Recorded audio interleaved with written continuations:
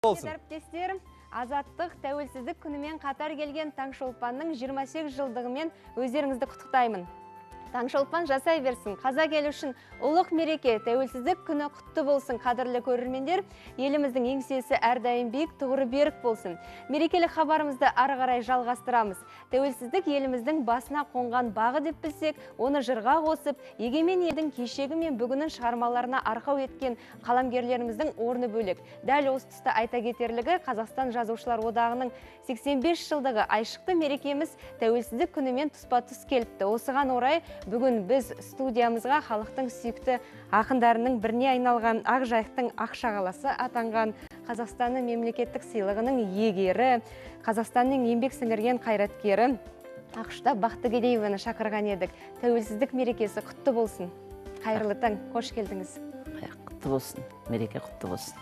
Иә қарап отырсақ мына еңбектеген баладан еңкейген кәріге дейін ел еңсесін көтерген ә, жалпы бұл күн енді баршамызға мән мағынасы одан кейін ма- мазмұны терең мейрам ғой.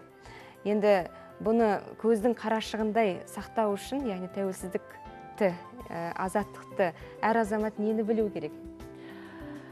Бұл мерекенің ең үлкені білген кісіге. Жалпы бостандық еркіндік ол жеке адамның емес ол бүкіл ұлттың бостандығы.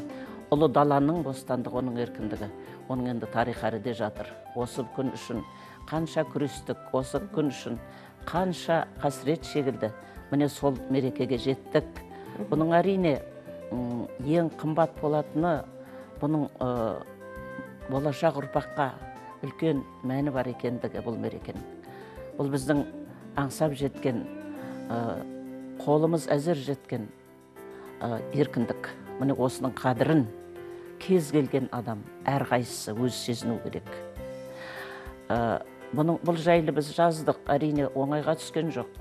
Кешегі жылдар алғашқы егемендік алған жылдар талай талай қиындықтар талай талай жағдайлар өтті ғой. Оның барлығын айта беруге болмайды. Бірақ оны біз жаздық жазып қалдырып жатырмыз. Халқымның уақыт емдер дертін бүгін оқитын кезең туар сертін жырын оңайға қайдан түссін бірден алу кең дала жас ұрпақтың еркіндігін. Бұл оңайға түскен жоқ. Сондықтан оңай деп қарамауымыз керек. Ал бұны сақтау әр азаматтың борышы әр адамның борышы. Ә, бұл ә, ұлы мерекені соның жолында мен не істеймін деп әркім ойлану керек. Бұл даланы сақтау үшін бұның ертеңін сақтау үшін. Оған ие болатын ұрпақ қалдыру үшін біз не істеуіміз керек деп әркім ойлану керек. Міне осындай ұлы мереке бүгін шақырғандарыңызға рахмет. Мен ә, таңшолпан көрермендерін ұлы мерекемен құттықтап шын жүрегімнен баршасына бақыт тілегім келеді. Ашық аспан тілегім келеді әрине ана ретінде. Барлығының үйінде тек қана мерекелік қуаныш болсын дегім келеді. Өмір болғасын қиындығы болады шыдау керек. Ал ең бастысы осы еркіндік. Біздер екі ғасырды көріп отырмыз айналайын. Иә. біз кешегі күндері әкеміздің атын ұмыттық өзіміздің есімімізді ұмыттық. Осы алматыда балаларымызды қайда оқытарға білмедік тіл ұмытылып бара жатты. Жалғыз 12 мектепке сүйредік балаларымызды. Сондағы бар мақсат шіркін ай анамның тілі бабамның арманы өлмесе екен деген ә, үмітіміз болды. Міне соған жеттік соған ризамыз. Құдайға шүкір. Біз оның бәрін кештік. Ал енді бүгінгі күннің қадірін білерге керек. Біз есімімізді жоғалтып бара жаттық қой.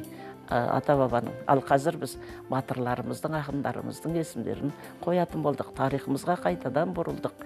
Ә, сонау бабалардан қалған өзіміздің ә, жоғымызды тауып отырмыз. Бұл бақыт емес пе ұлт үшін? Міне осының қадірін білерге керек. Шынында да тәуелсіздік азаттық күні қазақ үшін ең ұлық мереке сіздер шынымен екі ғасырды көрдіңіздер яғни тәуелсіздігімізді жоғалтқанымызды және онымен қайтадан қауышқанымызды. Жалпы енді ұлт тәрбиесі ұрпақ келешегі бұл анадан басталады ғой. Жырдан бір шашу жасаңыз енді ұлт тәрбиесі ұрпақ тәрбиесі бұның бәрі анаға байланысты деп мен сөзімде де өлеңімде де айтып жүремін өйткені ы, қазақ қызы ұлттың анасы. Міне біз осы ұлы даланың ертеңгі мұрагерін қалдыру үшін қандай болуымыз керек?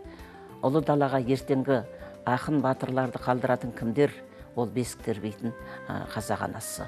Мен солардың көзінен тек қана қуаныш жасын көргім келеді. Ана ретінде мен осы ұрпақтың сауатты мәдениетті парасатты ешкімнен кем болмайтын мен ұлы даланың ұл дегенін ә, армандаймын сондай болсын деп тілеймін соған аяқ басу керек. Бүгін барлығы шетінен сауатты болып ә, ақылды болып және ұлы даланың өз тәрбиесін жоғалтпау керек. Өйткені біздің бабалар ешкімнен кем болмаған. Әрине біз кешігіп әліп ашқанбыз қадыр мырзалиев айтқандай.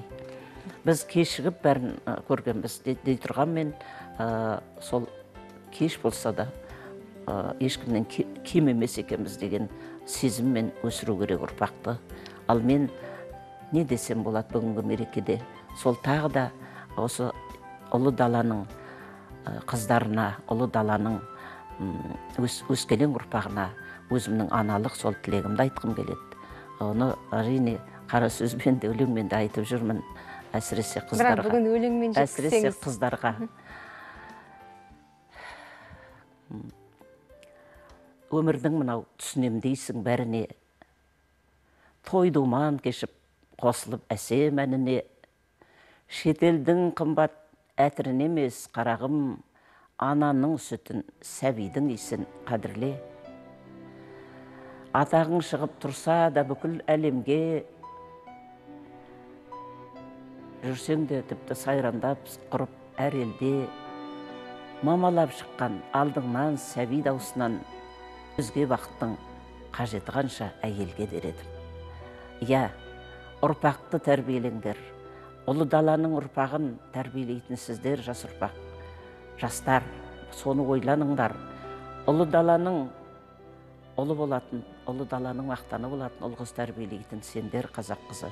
Мен сендердің ұлы мерекемен құттықтай отырып осындай бақытты заманда өздеріңнің борыштарыңды атқарыңдар ұлы даланың қасиетті анасы болыңдар деп тілек айтқым келеді.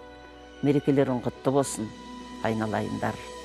Ананы қадірлеңдер сәбиді өсіріңдер. Сонда бұл дала бабалардың арманы орындалады. Олар осы далаға өз ұрпағын қалдырғысы келген. Міне сол үшін біз еркіндікке ұмтылдық ғасырлап сол еркіндік таңы құтты болсын. Рахмет айтқаныңыз келсін шынында да. Өзіміздей қазақ аналарына қазақ қыздарына әдемі өсиет айттыңыз. Тәуелсіздік күні құтты болсын.